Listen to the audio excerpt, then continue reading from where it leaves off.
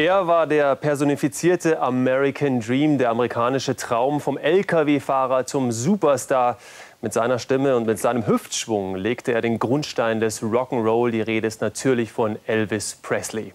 Am Donnerstag ist es 30 Jahre her, dass der King gestorben ist. Doch in den Köpfen seiner Fans in aller Welt lebt er weiter. In Schleswig-Holstein haben einige seiner prominenten Verehrer gemeinsam an einem Filmprojekt gearbeitet, das ihn auf typisch norddeutsche Art und Weise ehren soll, den King of Rock'n'Roll.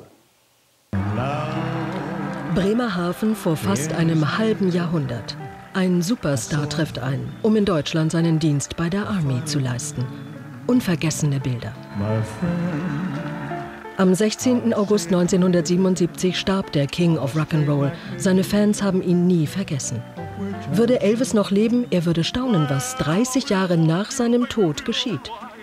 Da steht ein gelernter Malergeselle und Musiker zwischen den Schafen bei Elmshorn und huldigt seinem Idol auf gar ungewöhnliche Weise. Ich habe das mitgekriegt, da war ich zwölf, kam aus dem Dänemark-Urlaub.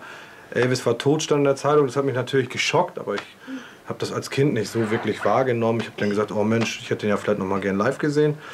Äh, und jetzt 30 Jahre später noch traurig zu sein wegen Elvis, also ich glaube, das wäre ein bisschen zu viel des Guten. Ja. Filmstars. Mal von vorn.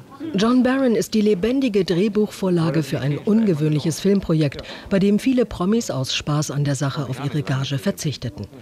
Sein bester Kumpel Michael Söth produzierte für wenig Geld den norddeutschen Musikfilm Der Deichking, der zum 30. Todestag von Elvis Presley ins Kino kommt. Kernaussage: Elvis lebt. In Fiete Hansen, dem vertrottelten Bauern, der nach dem Sinn des Lebens sucht. Mama, ich bin Elvis, der King. Fites Mutter wird von der ehemaligen Beatclub-Moderatorin Uschi Nerke gespielt, die die fassungslose Elfriede Hansen mimt, dem King und John zuliebe völlig ohne Kohle.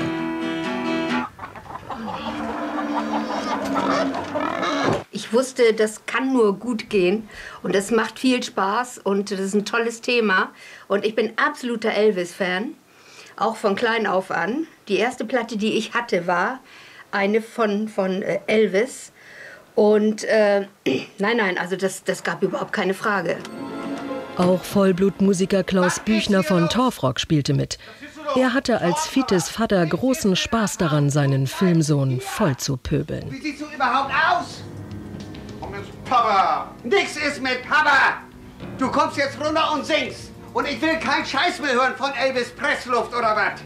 Das hat richtig Spaß gemacht. Und ich ja. finde, solange Elvis tot ist, sollten wir noch einen machen. Doch zunächst hoffen John und sein Team, dass der Deichking sein Publikum findet und als kultiger Film etwas Geld in die Kasse bringt. Und der echte King of Rock'n'Roll, wahrscheinlich wäre er begeistert von John Barron aus Elmshorn. Well,